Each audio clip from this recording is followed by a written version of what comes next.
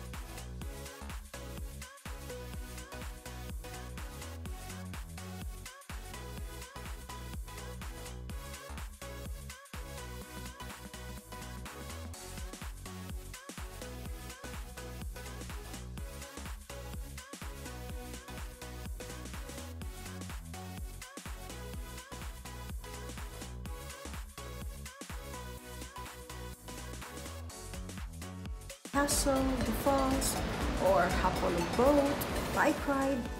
You'll get a lot of activities to choose from. And of course, to make things easy, they even have a lift if you want to go up and down the castle. The castle sits proudly above the Rhine Falls, so from up here you'll get a panoramic view of the waterfalls. So beautiful, and so relaxing, it can be crowded too, so better visit this place on weekdays. And to make your visit even more fun, they also offer the tourists to experience the waterfalls up close by those boats. Then you'll have several options to choose from. The yellow one brings you up close to the Rhine Falls and will give you the opportunity to climb up to the tip of the rock in the middle of the waterfalls. And that's something that you should really try when you're here because it's just so amazing to be up there.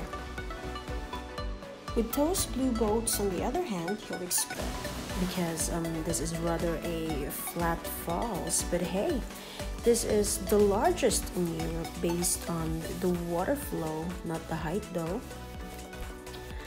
There has been several attempts in the past to remove this falls and flatten it so boats and you know big ships could easily pass through, but the inhabitants in this place were defending the area from all those attempts.